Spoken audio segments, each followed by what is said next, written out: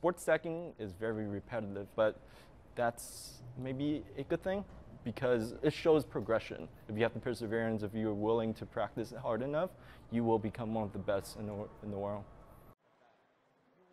What you want to do is go up top and move it to the left. No, okay, hit it again, and it was.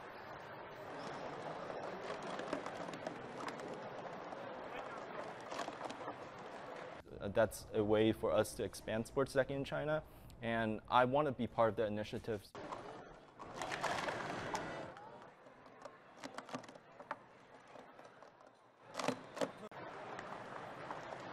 They see the kids moving, they see them um, developing their ambidexterity, hand-eye coordination, and most importantly, they see kids' self-esteem changing, and they're able to stand tall now and say, you know, look adults in the eye and shake their hands. They weren't like that a year or two before.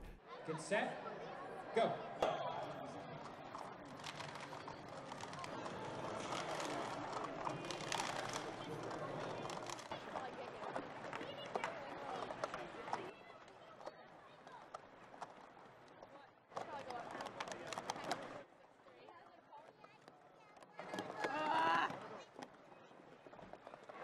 Virginia DeLucio!